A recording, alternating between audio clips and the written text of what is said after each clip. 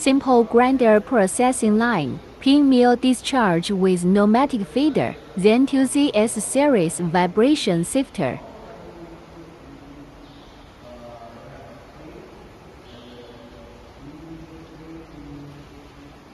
which was finishing and testing, ready to deliver during recent days.